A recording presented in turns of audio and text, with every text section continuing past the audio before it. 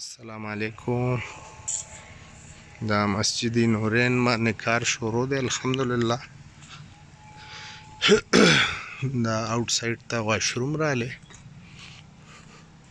دې ځای به د اودس او د چاردام ځایونه راشي یو پول به دې ځای اچول غواړي داسې چې څنګه دا پول اچول دی داسې سره سر تر هغه سره پورې به دې ځای یو پول اچو انشاءالله دا د جومات یو دروازه مې ودروله واړه غونته کې زړه مې واغسته او بیا به ان شاء الله چې کوم دینه دې کې غټ گیټ لګاو اته فوټه خو فلال د پاره دا ولګول مونږ چیرې دغه شي پامن شي لک کنه نو دا اوس را دن شو جومات ته دا ماشاءالله کار کیږي روان دی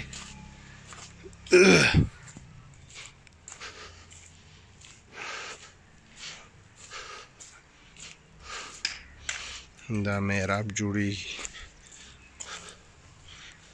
نن د محراب د پاره دي دا ګولای کې سیټینګ روان دی دا به زی داسې په بره باندې ان شاء الله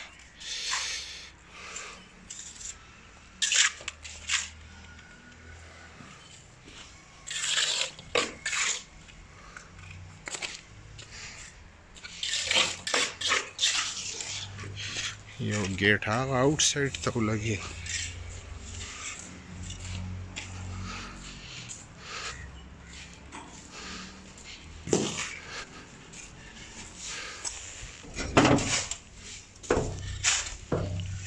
کورونه دي پټې دي